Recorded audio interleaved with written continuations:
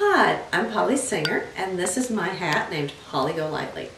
I love this hat. It is so easy to wear. It was named after the Holly Golightly character in Breakfast at Tiffany's. One of my favorite things about it is the curved brim, uh, the flowers and kind of the taupe soft color, and then the feathers just sweeping up give it such an elegance and appeal. It's a very wearable hat, and my clients have loved it from when I started doing it 10 years ago. So it's just a classic. Enjoy. Thank